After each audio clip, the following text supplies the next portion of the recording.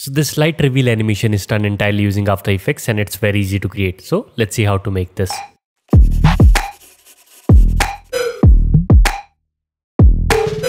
Alright, so I'm in After Effects and we will begin by creating a new composition. Let's call this one main. Width and height will be 1920 by 1080, 330 fps and duration you can pick whatever you want. Just click on OK. Now first we are going to create a torch. So it's actually quite easy. All you have to do is just simply select this rectangular tool and just click and drag and just create a small rectangle, something like that. Let's enable the fill and I'm going to set this to white. Now after that we are ready to draw the shape or the torch so for that we can just simply enable proportional grid and after that I'm going to like select this and let's align it to the center using the align panel. If you're not able to see the align panel, you can go to windows and from here you can enable it.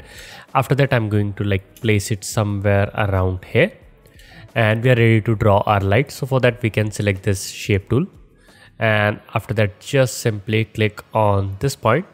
Then you can just click over here and then click to this point and then click back. So here you can see we have this sort of thing. Now once you have done this we can probably change its color. So i'm going to like make it yellow but it's completely up to you can like have whatever color of your light. Perfect. Also we will place this at the bottom like that. Now we are going to like disable the proportional grid. Now we want this light to move with our torch. So for that we can just simply select this light and let's parent it to this torch. Perfect. Now we are ready to animate this out. So first i'm going to like select this light and let's press and let's search for path. And in the beginning i'm going to like close this up. So for that we can add a keyframe and let's just move it like far away. And after that we can like move these two very close to each other so that the light will like probably disappear you can probably zoom in something like that so here you can see we are not able to see any light.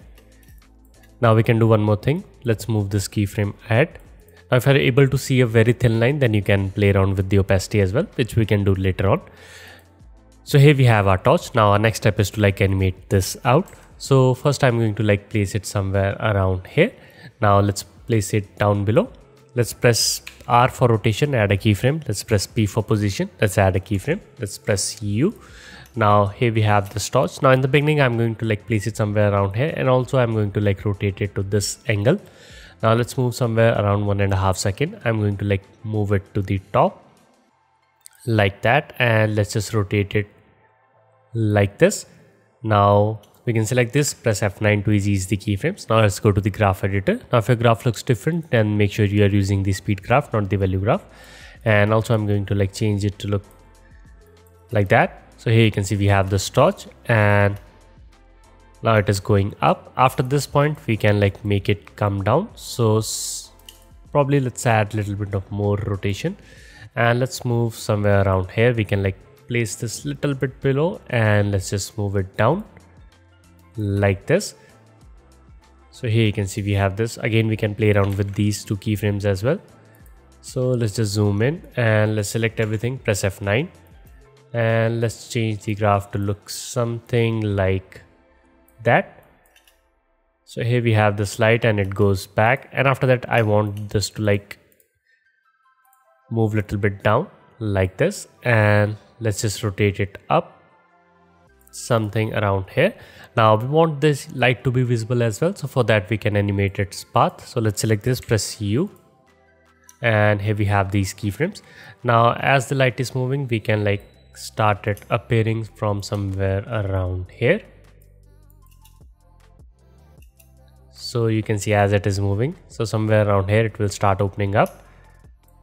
And we can maybe like move it a little bit more ahead so before we continue, if you enjoy my work and you want to support me, then you can check out my Patreon page. Over there, you will get access to the tutorial project files and exclusive templates that are available only on Patreon. So make sure to check it out. Link for that is in the description. Now let's continue. I want this to be like a little bit down and we can like make it not open at this point and after that somewhere around here let's move it like a little bit up we can have this light opening up something like that. Again we can like select this and let's make it closer.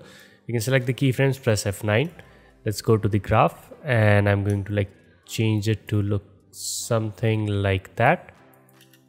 So here you can see we have this light and after that we can like make it look down. So for that we can play around with this. Something like that. Again it's up to you. We can like make it little bit down below and let's just select the keyframes. Let's press F9 and let's change it to look something like that. So here we have this torch and it goes up. And after this point we can like move it down below like that. And we can like move it to this point. Perfect. Let's go to the graph editor. Again let's play around with the keyframes so here we have this animation. So it goes up and it goes down.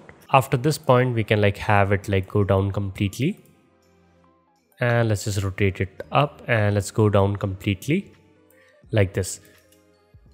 So now we can play around with this. But first let's add our text. So for that we can select this text tool. And it's completely up to you. You can type whatever you want let's type find me and i'm going to like set its color to black. Let's place it over here. So you can see that it will be visible only when we have this light because the color of this and the background is pretty much the same. So let's just pick some points. So here you can see we have this text. Now if you want you can play around with its font. You can like place it wherever you like. Let's place it over here. And here we have this. Now at this point we can have our path open up. So now at this point we can like make it open up a little bit more. So for that we can again select this. And first i'm going to like move it far away. And let's move it down. Let's move this up. Sort of like this. And as we are moving over here we can like make it completely fill the screen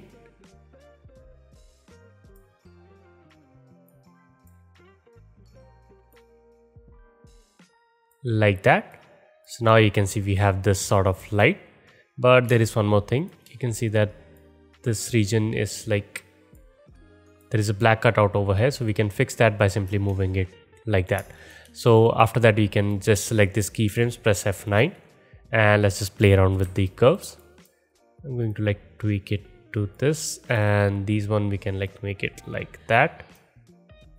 Perfect. So here we have our final animation here we have this torch. Perfect. Now again if you want you can play around with the easing of these as well. You can like make it however you want. So i just want these keyframes to be like that. So here we have our final animation. Now there is one more thing. Let's say if you have a background. So let's create a background. And i'm going to like quickly change its color to let's say this. And if i place it at the bottom you can see that right now we are able to see our text but we don't want to like actually see it so we can fix that by simply selecting this and let's press ctrl d to duplicate this now i'm going to like place it at the top now we can select this and i'm going to like change its track matte to this layer now if you're using the older versions then you won't have this pick whip or these layer names. Instead you will have track matte alpha matte all of these sort of things. So for that you can just simply place this shape layer on top of the text layer and change it to alpha matte. So here you can see now it won't be visible till we have this opening up like that. So there is one last thing. You can see that we have this very thin line over here. We can get rid of it by simply selecting this. Let's press T for opacity. Let's add a keyframe. Let's move like one frame behind. And I'm going to set this to zero. So now if I press play, you can see we won't be able to see that line in the beginning. And here we have our final text. So this is how you can create this light torch sort of animation and the project files for this tutorial is available on Patreon. So if you're supporting me over there, then you can download it from there. And if you're not, then you might consider it because you will get access to the tutorial project files and exclusive templates that are available only on Patreon. So with that being said, my name is Abhishek and I'll see you in the next one.